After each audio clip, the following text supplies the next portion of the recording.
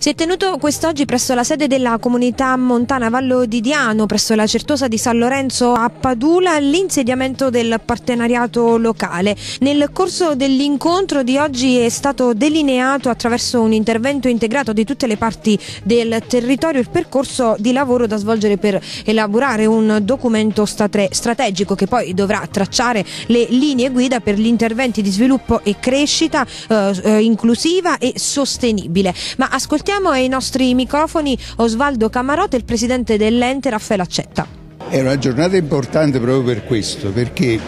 questo territorio con oggi con l'iniziativa di oggi si dota di, del partenariato locale. Che cos'è il partenariato locale? È un luogo di incontro in cui tutti i soggetti associativi, culturali, istituzionali del territorio si ritrovano insieme per elaborare una strategia di sviluppo condivisa per quest'area Purtroppo molto spesso le scelte che riguardano lo sviluppo vengono assunte o in maniera settoriale o in maniera particolaristica.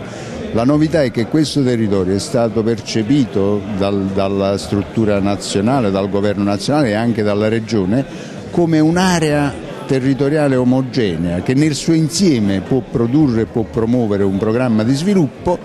e finalmente dico io che mi occupo di queste cose da tanti anni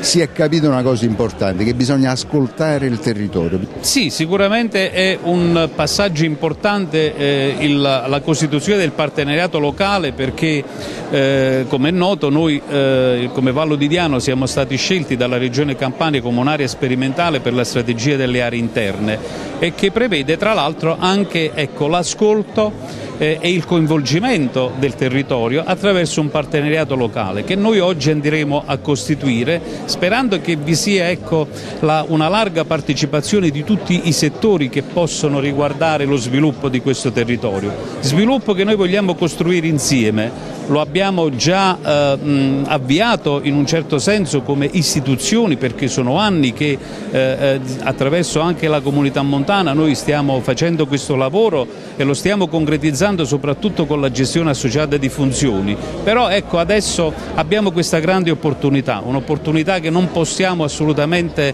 eh, lasciar correre e dobbiamo crederci, eh, noi ci crediamo, siamo ormai diciamo, anche ehm, motivati perché riteniamo che questa sia un'occasione unica per il territorio che potrà avere la possibilità non solo di avere tante risorse ma di programmare uno sviluppo diverso, uno sviluppo in cui ecco, consente a tutti di poter vivere bene il Vallo di Diano.